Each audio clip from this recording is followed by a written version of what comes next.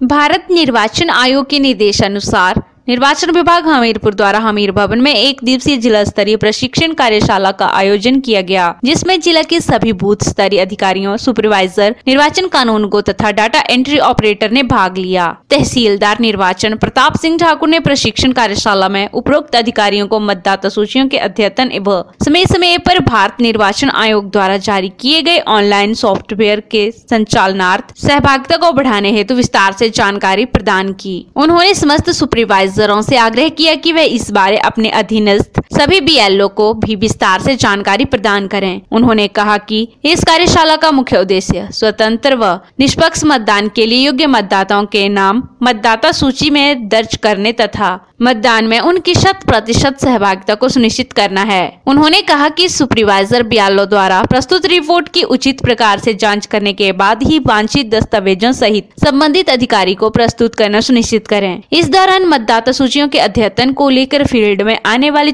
चुनौतियों तथा उनके बेहतर ढंग से समाधान के लिए परस्पर विचारों का आदान प्रदान भी किया गया। पी के लिए हमीरपुर से ब्यूरो रिपोर्ट।